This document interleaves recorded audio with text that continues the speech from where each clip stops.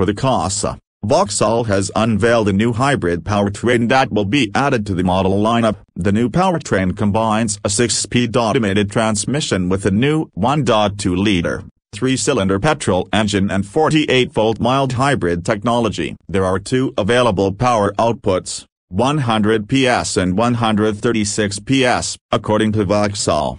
The Corsa uses 20% less gasoline thanks to its hybrid technology. The 100 PS model generates 102 grams of CO2 per km and can reach 62 miles per gallon. The gasoline engine shuts off during deceleration, and the e-motor functions as a generator to replenish the battery of the hybrid system. The energy that the regenerative braking technology recovers is also stored in the battery. According to Vauxhall's streamlined trim lineup, design, GS, and Ultimate versions are the available options for the new Corsa Hybrid. Starting prices for the Corsa Hybrid 100 PS design are £22,890. Beyond standard petrol engines, the Corsa also comes with an option of two completely electric powertrains.